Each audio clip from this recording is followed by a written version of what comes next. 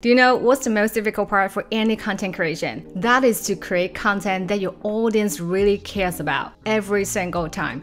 So, how can you do it 10x faster? Be 200% sure people are gonna love it and without spending more money on those paid tools for spotting trends. In this video, I'll show you how you can easily use AI and Reddit to find golden content ideas and turn them into trending content in just four steps. It will cost you less time, less energy, and guaranteeing your results. In the traditional way, we use Google Trends, keyword tools, even paid tools to spot trends. These are great ways to identify proven content ideas, absolutely. But I found Reddit is just a complete game changer. It has a diverse user base with super targeted users. So if you're familiar with Reddit, it is a big community composed of different sub-communities in different categories. And for each of them, they represent a core theme or topic or community. And most importantly, you can get real-time and really specific trending insights and context from the audience, which is something you're not able to get from Google Trends or keyword tools. But scrolling through Reddit for content research is quite a bit of painful process, and that's why I recommend using two Reddit research tools. The first one is GummySearch. It gives you insights about different Reddit communities and the topics that are discussed the most. Now I know what you're thinking, it must be a pay tool. Yes, it is, but you don't need the pay plan unless you want. The free version is really enough and what I actually want to show you it is free tools section where you can check the top subreddits list with growth data and check if any of them are somehow related to a niche and which is a great starting point. You can sort by the community size if you want to be more specific. You can filter those with smaller communities with one 1,000 to 10,000 members, or you can go really broad with 1 million plus members. I would say, depending on your niche, both small or big communities, you can still find topic ideas that can go viral.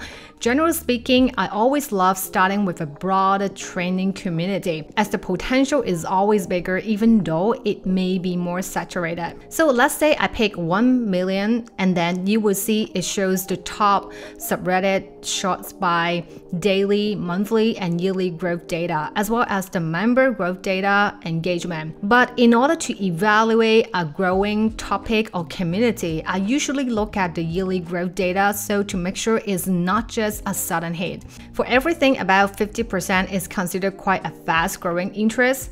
And like this one, that's absolutely a fast growing topic or community. Alternatively, if you have a niche in mind, you can also check for the Reddit growth data manually using is an other free tool, the subreddit finder. For example, let's let's say self-improvement. Obviously, it's a big community with almost 2 million members, but the yearly growth rate is not quite fast indicating this may be a quite saturated niche with lots of content out there. So the ultimate goal here is to pick a topic that has a sizable community or interest and yet has a fast growing rate. So you will use this tool to validate a trending topic or interest by using this search function. It also shows you some similar subreddits on the sidebar. Now I want to introduce you to another cool tool, that is Reddit Map. I know this tool from another YouTuber and I found it is super helpful in finding trending and related topics, and you can use it interchangeably with GummySearch to identify a good trending topic.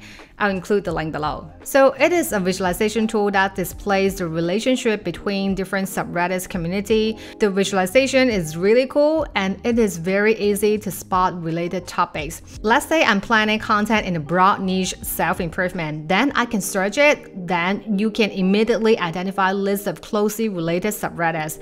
Those pink highlighted bubbles such as introvert, stoicism, productivity, meaning these are subtopics that are highly related with self-improvement based on the user activity and content similarities. And the size of the bubbles represent the size of the community. Or you can click on each bubble and it will show you the total number of members. So in this case, Get Discipline definitely is a bigger community than Confidence, and it usually means there is more interest for this niche. And this way, you can quickly identify related topic that you may not have considered consider. And together with GummySearch, we can check each of these subreddits to validate if these are the growing topics we should focus and create content about, and what are the cool topics that people love. Because sometimes you may not get all the associated subreddit using the GummySearch free tool or the free version is pretty restrictive. So this way you can make sure you are not missing any potential subtopics. Let's say I want to check productivity and you can see this is obviously a good trending topic because it has a sizable community of 3 million members. It has a yearly growth rate of over 60% and actually got some of the top metrics like number one posts per day, meaning lots of interest regarding this topic and will have a great potential to go trending. Of course, you can also search using typical keyword tools, but then you may not able to get a full picture without considering the size of a growing community. So you will repeat this process and ultimately fix a few growing topic that related to your broad niche. Alright, let's say we decided on the topic productivity and then go back to the Reddit map tool, search for the productivity subreddit, and you will see the top 25 threads grouped by hot, controversial, top, new, and that happening real time now on Reddit. So filter the poses by top, and these top poses are the threads with the most upvotes, meaning these are the topics people can mostly resonate with, and then shot by the past year. So make sure we get more reliable insights, and then just quickly skim through these 25 threads and see if there are any repeating patterns. For example, I can quickly see people always mention procrastination. People are asking questions mostly starting with how, at least a few of them. If you want to dig deeper, you can also sign up GummySearch for its free version. It allows you to create up to five audience for free. And then you can check the topic sections, shot by growth, and again, take note for any patterns and identify more keywords that are often associated with this growing topic. Things like AI, burnout, fitness, tools, but note that the free version only allows you to perform 50 searches, and checking the top topics will consume one search credit. So take all the notes patterns because we're gonna use it in the next step. So what's next? What to do with this trending topic? The traditional way is to use keyword research tools to get more relevant content ideas. And the one that I'm going to show you will take an unconventional approach. Again, that is Reddit. And we're going to dig through all the real popular questions asked within the chosen subreddit. Because then we can guarantee the content is something people really want and maximize the potential to go trending. But instead of paying the GummySearch tool, there are two free ways can do it pretty easily. Way number one is to use the scraper tool ExportComments. It allows you to extract data from the most of the common platforms like Reddit. So pick the Reddit post collector and then paste the subreddit link. In this case, that's productivity. What it does is extract the Reddit threads happening within this subreddit, and the free version allows you to extract up to 100 threads. So it's not too bad. If you want, you can always upgrade to the paid version that allows you to export up to 5,000 rows. So open a new Excel file and only paste the thread titles on the file. Though this method has one drawback, it is not filtered, so then only the most recent one. So we're also gonna use method 2, that is by searching on Google and using Google search operators to narrow the search results to those from that particular subreddit site. And the best thing about it is that you can ensure those threads already ranked on Google are often those popular with lots of upvotes or discussions because Google use different engagement signals like click-through rate, content relevance to index and rank these Reddit threads. It seems a bit technical, but it's actually pretty easy. Before I show you how to do it, we need two Chrome extensions. The first one is Infinite Scroll for Google. We will use it to enable the Infinite Scroll for search result page, and you will know why in a minute. Another extension is SERP Snippet Extractor. We will use it to extract all the page title for each search results. I will include all the links below. Alright, so on Google search bar, type in sites colon and then the subreddit Link. So what it does is to restrict the search results to only focus on this subreddit link. In this case, that is the productivity subreddit. Remember the patterns you have marked down in the previous step? We want to use it here. So type in the operator in title colon procrastination to further narrow down the search results only with a page title containing the word procrastination and filter it by the past year. Now, an important step is to enable infinite scroll so you can keep getting a list of search results. And once you're done the scrolling, then click the SERP snippet extractor icon and it will extract the snippet data, including the title, and paste them to the Excel. So you will have all the phrase title. And we can continue this process by extracting more specific phrase by using the beginner words phrases like how to, what is, where to, how can, how I, why do, and then you can get a list of real questions people asked within this Reddit in the past year. So clean the data a bit, remove unnecessary columns, and save as a CSV file. Of course, you can always use some sophisticated scraper tool, pay tool to filter the threads and extract them. But this method won't cost you a dollar and is actually pretty fast as well. And we're not done yet. At this point, a bonus step is you can also ask Perplexity AI for the top question people commonly ask about your topic and narrow down the focus to just Reddit. So making sure we did not miss anything. And then you can copy the question and paste back to the question list. If you want, you can also skip this step, it's fine. Just keep in mind the more real data you collect here is always better for the actual content creation process. The next step is the most exciting part, and this is my favorite part. In the old days, you probably need to scroll through all the questions, data, and analyze the themes. Now with Claude, it would just take you less than a minute to do that. Again, you don't need to use Claude just because personally I really like it and use it for content creation.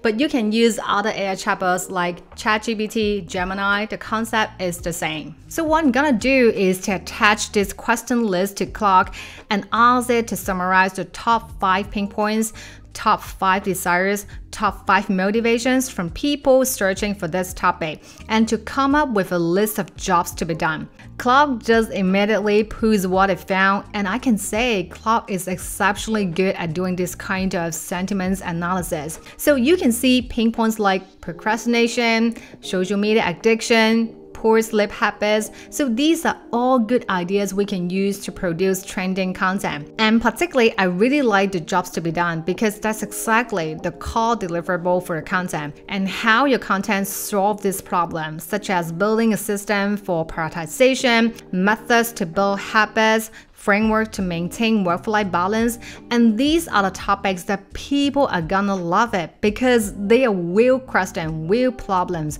So having these insights will allow you to have a complete picture when you do the actual copywriting or scripting. The next step is actually the most important part, which is the overall packaging for the content. Because no matter how you pick a good topic, if you don't have an appealing packaging, it still can't go trending or viral. So a piece of trending content should have an engaging title or first liner, which is relatable to your target audience. First, pick one of the desires, a pain point, and a jobs to be done, and ask Claude to generate a list of engaging title ideas that can mostly resonate with real humans. It should be direct, conversational, but not too casual, and able to pique curiosity. And now, some of the titles are really interesting, like this one how to trick your brain into starting any task, why you can't get started, and how to fix it today. They have good curiosity. And this one, build a productivity routine that actually sticks. So just using a great title or first liner can completely change the content. And it can be used in any types of content, YouTube videos, LinkedIn posts, blog articles. Now we'll pick a title and attach the question again, and then we'll ask Claude to propose a content outline with key topics based on the comments that are relevant to the desire, pain point, motivation, and the jobs to be done that we have chosen. So we will also ask it to incorporate key elements to be included like a strong hook with a personal story, emotional appeal, conflicts, high relatability, practical value.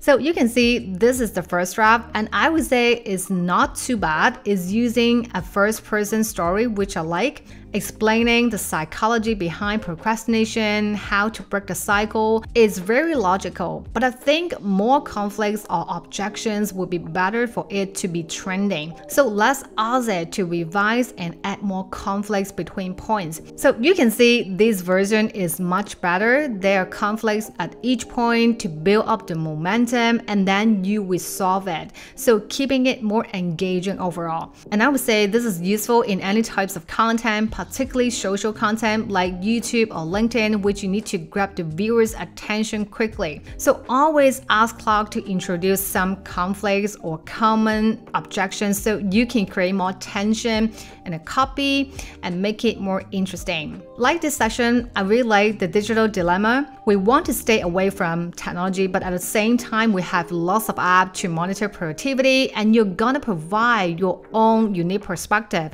in resolving this objection. Of course, this is not yet finalized, but you get the idea. Ask Claude to generate the structure, points of conflicts, and the talking points based on the specific pain points, desires, and you fill it up with your own opinion.